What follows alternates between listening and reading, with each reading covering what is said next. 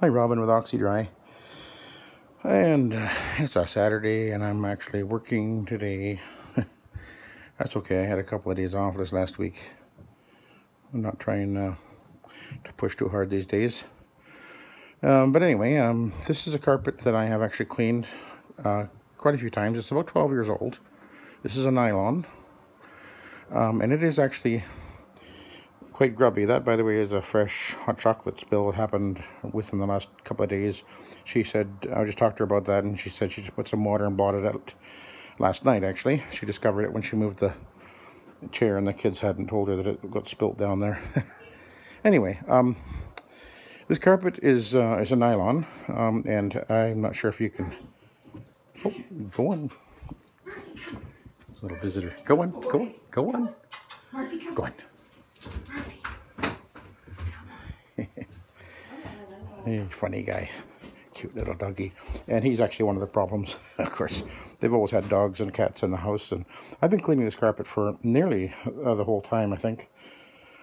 But um, she's not doing it often enough at all. And with the um, amount of uh, um,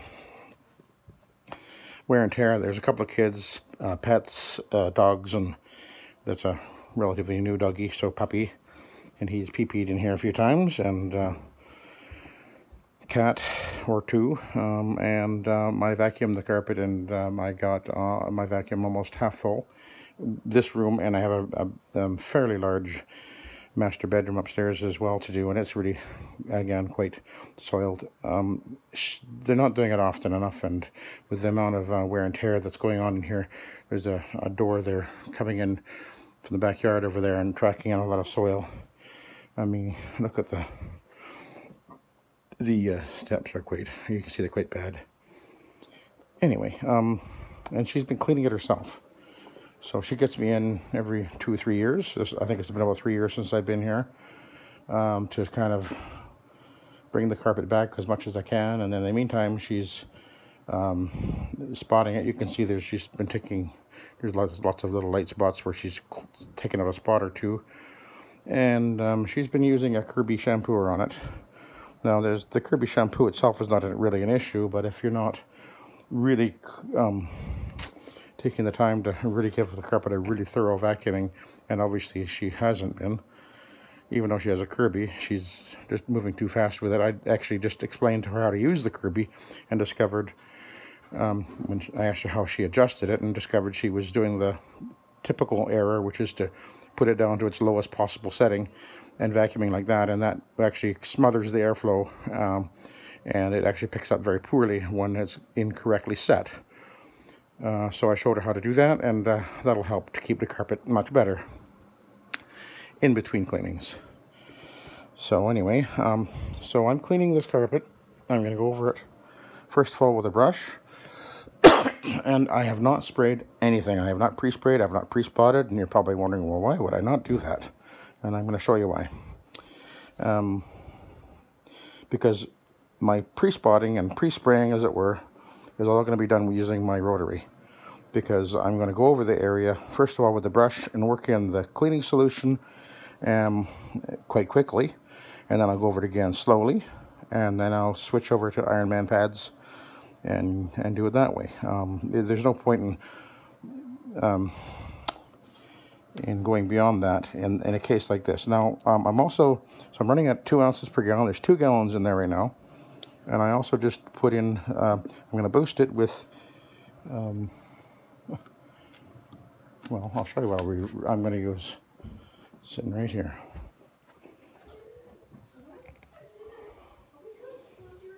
Radical rinse that works really well. Has a bit of an orangey, lemony smell. Um, has um, a proxy in there as well. And um, of course, I actually increased the uh,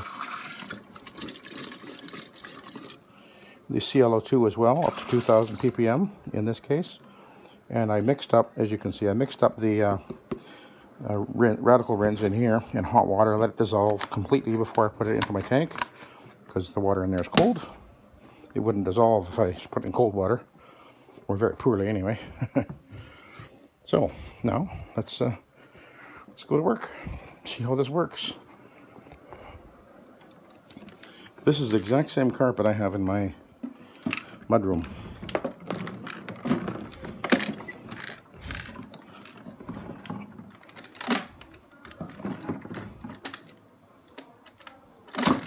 There, it just dropped into, dropped into the um, the, the clutch and the um, um, brush just just dropped, snapped together, and I'm going to give it a little blip.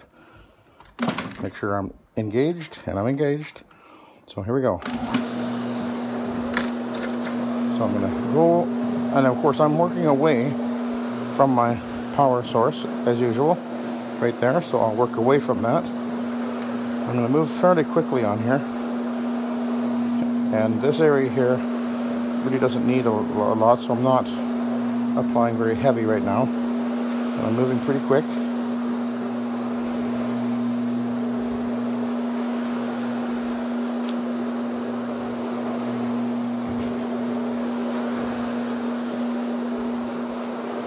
This is my newer brush, which I have two identical brushes. They're actually quite a soft bristle.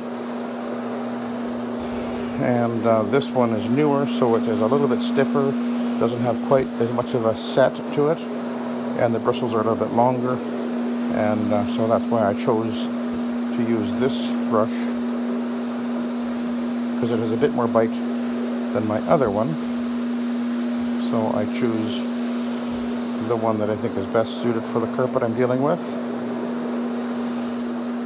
Obviously I'm moving a little bit slower here and I'm flying a little bit heavier because this is the more uh, heavily trafficked and soiled area. And of course this machine is turning that brush three complete revolutions every second 360 degrees. At the front of the machine, it's moving to the left. At the left side of the machine, it's moving toward me. At the back of the machine, it's going to the right. And at the uh, right side of the machine, it's moving that way, away from me. So it's coming out the fibers from every side.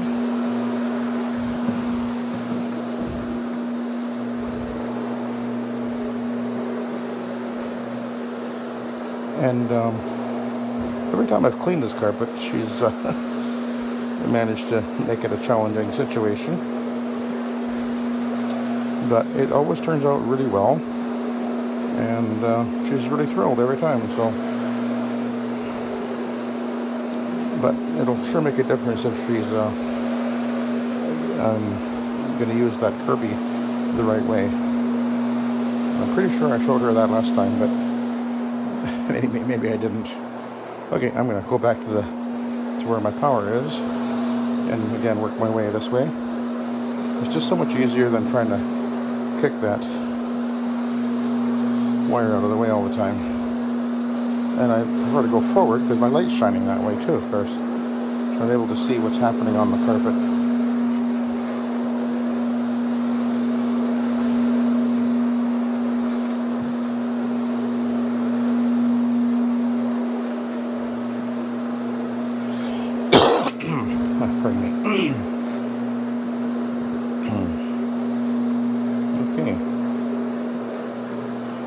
already over there. It, it's looking, it's looking pretty good.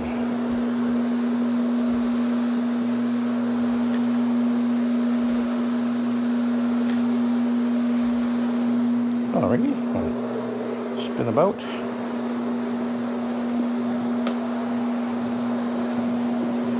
And then I'll head down this way.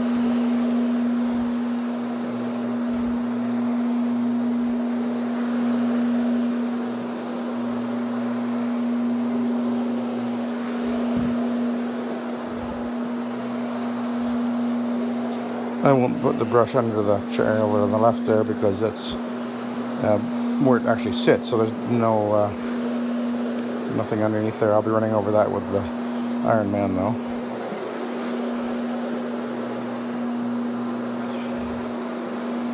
Now this is where the chocolate milk disaster happened. I'm going to give a little bit extra there. When I vacuumed it, I did realize it was actually wet.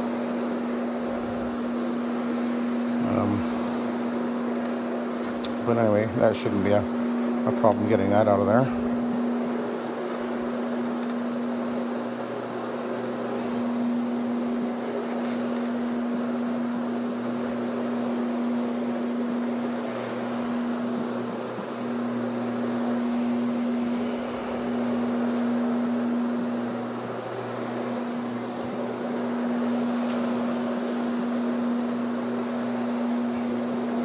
I probably don't really need to go over this area where, right where I'm at really with the brush, but uh, because it's really not very soiled right here, but I'm going to anyway. It'll just take a couple of extra minutes. Not a big deal.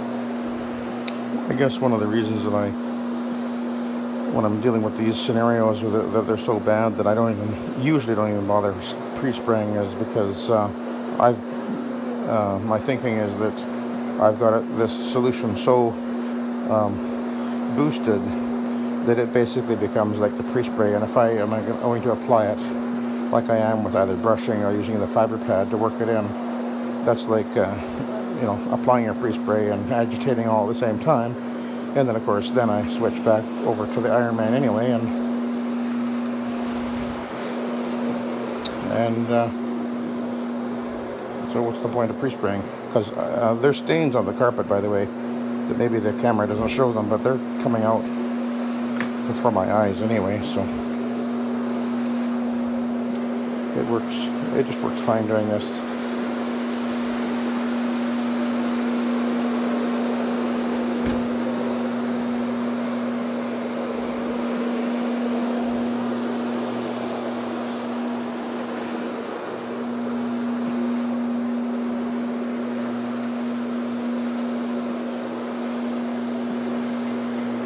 Okay, I'm gonna just open that. There we go.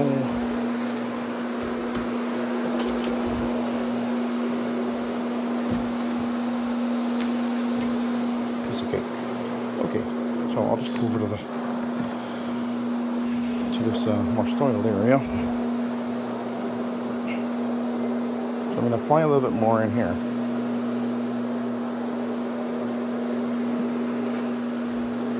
And scrub a little bit more. So I'm slowed down a little bit. Just let the brush, just let the brush do its thing.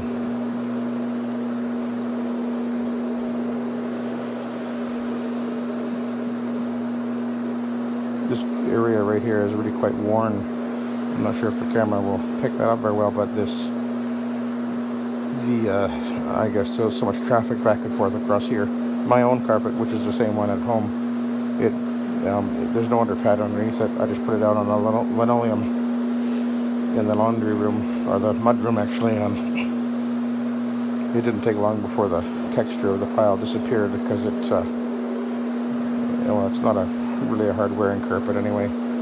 The steps are going to be um, challenging. I will, on the steps, I'm actually going to use the black um, brush on the Oreck first, and then I'll use uh, at least a couple of uh, gladiator pads, but they've uh, boy, they're they're really quite bad.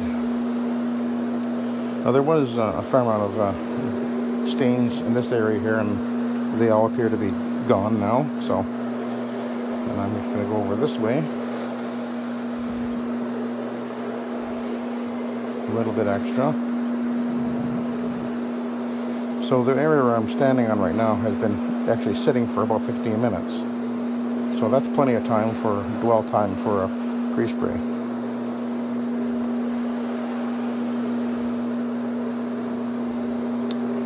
That's the way I see it anyway. okay. So now what I'm going to do is I'm going to go back over to here. And I'm going to switch over to to the Iron Man.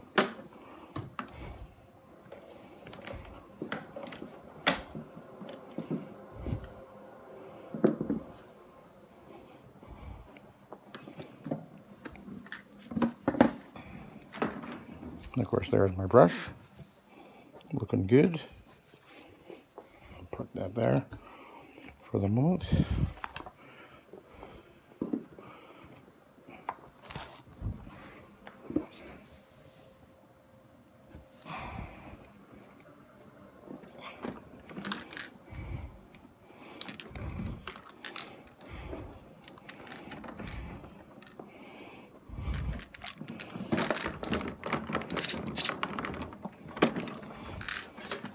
Again, I want to engage the uh, drive block.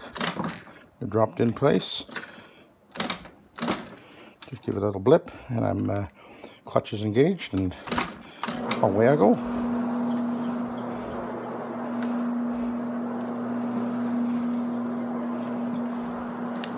Oh, it's actually binding, which means it's too dry because I didn't apply very much over here.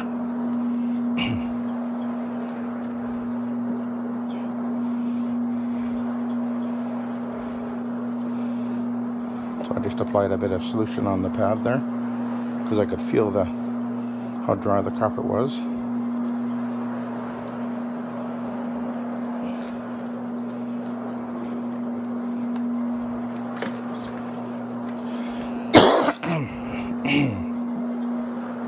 Ah, pardon me. So there were some marks here and they do appear to be gone.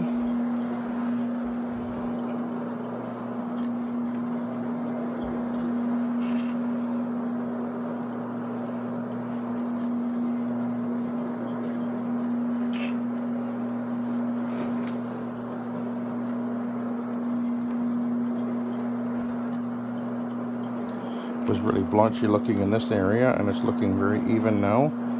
These nylons uh, really do clean very well.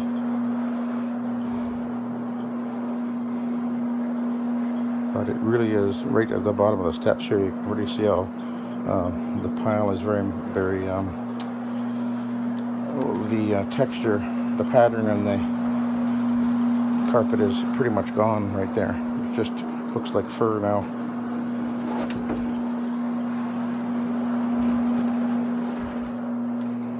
Okay, I'll go back over to the beginning.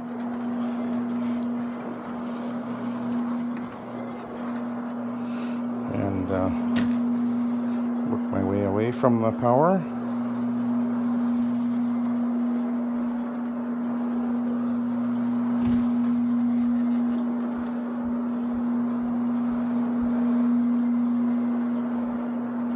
I'm overlapping a little bit on the right here, of course, as I move my way forward.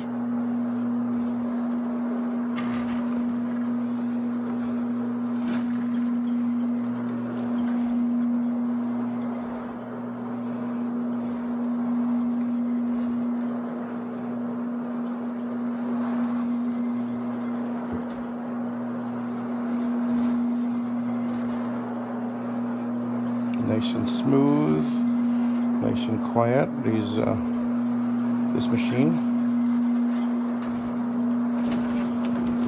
and uh, this is the MD180 imported by Mastercraft, made by Cleanfix in Switzerland.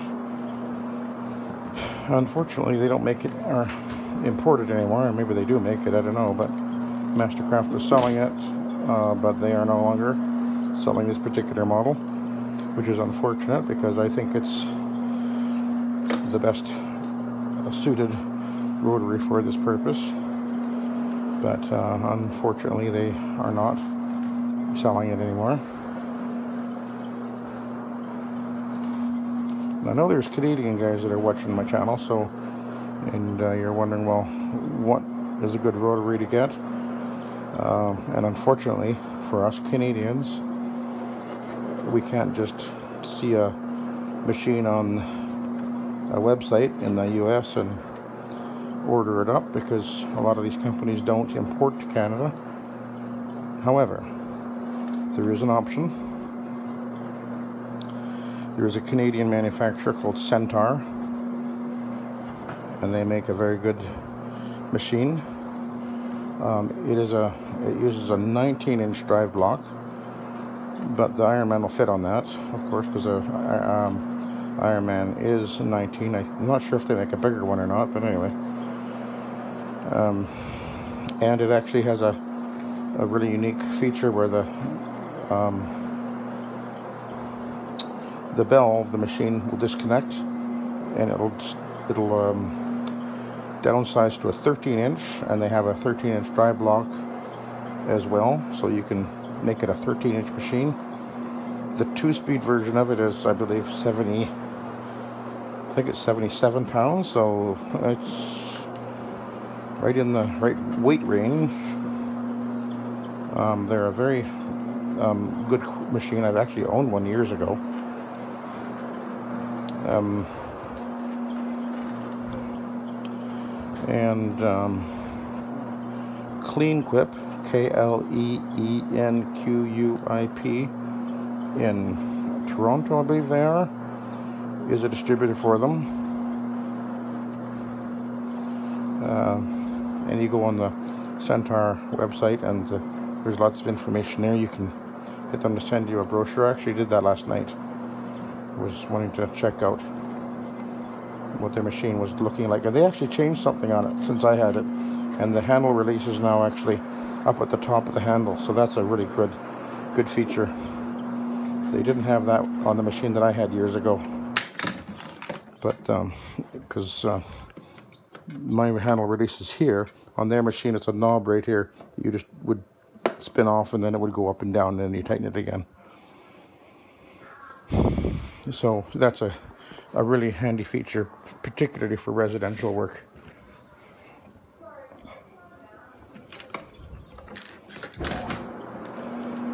And the machine actually will um, uh, tear down and like a, one minute, pop the handle off, so you could actually carry it the trunk of a car if you needed to. And they have um, accessories like a tank, and of course brushes and um, the drive block and things like that. So, um, and um, anyway, uh, yeah, that's a good choice for us in Canada, I think, because uh, even a there's a couple of manufacturers in the states that or suppliers in the states that would sell to us in Canada, but by the time we pay the dollar difference in the shipping and everything, well, it starts adding up, and the I believe the Centaur is around about $3,000, which may sound like a lot of money, but in the big picture, it really, I guess it really isn't. That's not your biggest concern, is the cost of your machine. It's, um, it's just the way that it is. We, we, we see prices for rotaries on some websites in the States, and they're six or eight hundred or nine hundred dollars or whatever, and well, surprisingly not as dirty as one would have thought here, right? Interesting how the different soils um, look differently on different carpets, so interesting. I was expecting it to look a lot worse.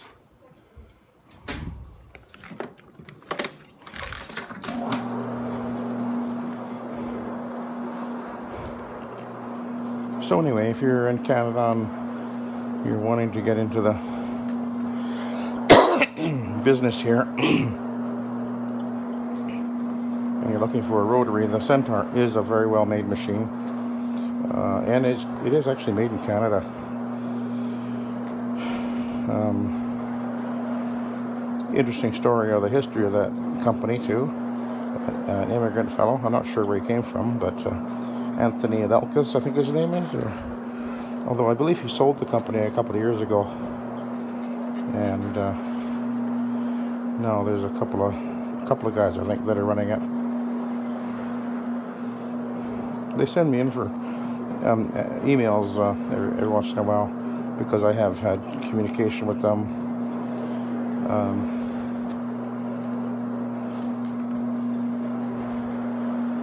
and I don't mind that. Uh, they do a stone uh, like a marble polishing course, which is if, if there's uh, if something you want to, or you're interested in, um, that would be, um, and you have the business. It certainly is a, a pretty lucrative business, actually.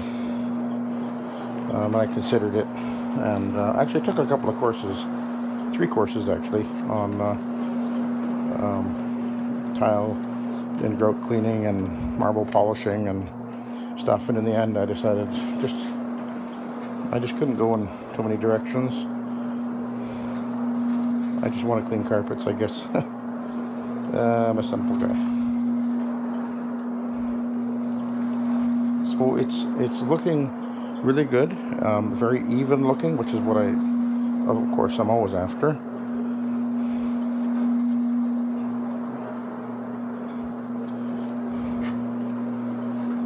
Um, I'm not sure whether I'll post vacuum or groom this carpet. I'll, when I'm done upstairs and done the steps and I'm ready to do that, I'll probably check to see how, how um, wet it feels.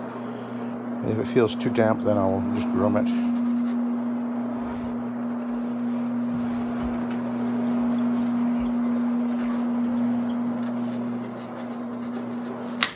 I'll just feel it right now. Uh, not bad. It's not soaking. It's Probably a little bit wetter than I normally would have it.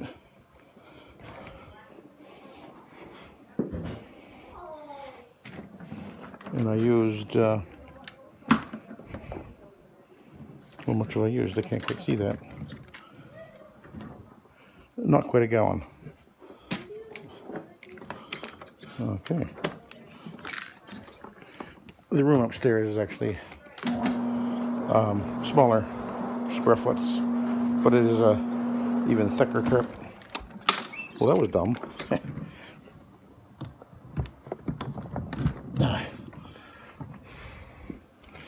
yeah.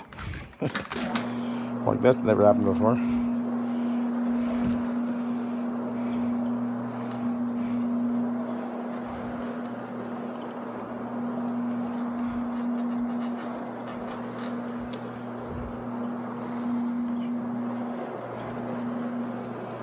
So it's coming along nicely. It's amazing this carpet when I clean it. It often, when I first get here, I'm often sort of gulp, but it always turns out really well. And she's always really happy with how it, how long it stays clean. Uh, she was getting it steam cleaned years back, and it was just resoiling right away for her.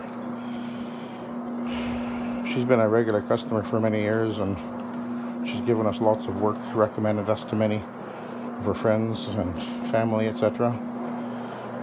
And uh, yeah, that's great. I've got lots of customers like that.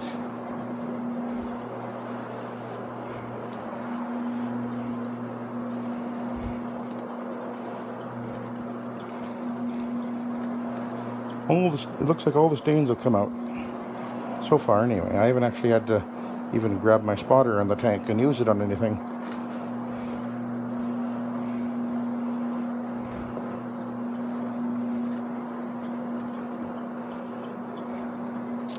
Which is uh, interesting because there were a lot of stings.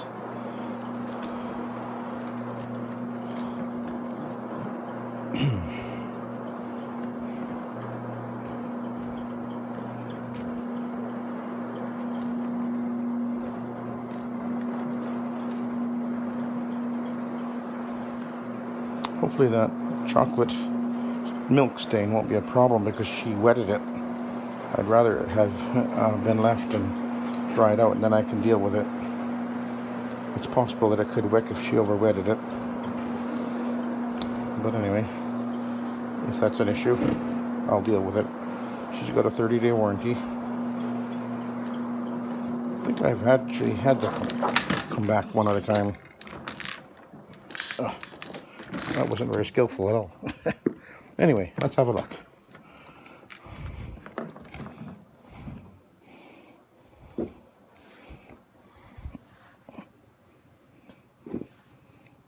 Um, it's just surprising how how um,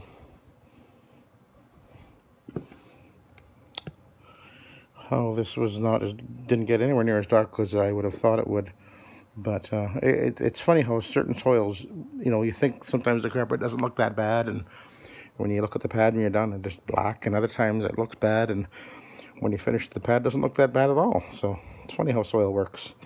Different soils have different characteristics, I guess. Anyway, so that's what I, I'm done in the basement here, other than grooming it. So I'll head on upstairs and and uh, continue with this job. And uh, I'll let you go now. So have a good day.